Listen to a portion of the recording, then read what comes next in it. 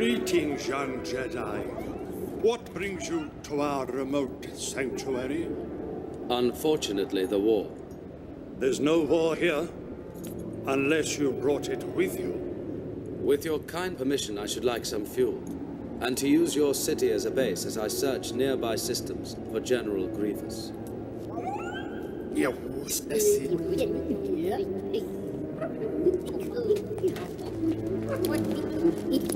Yes, here.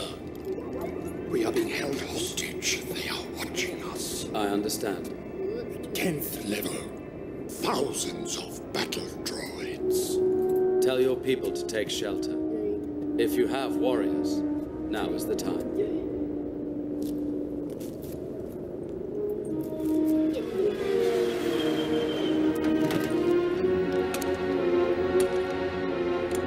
Take the fighter back to the ship. Tell Cody I've made contact.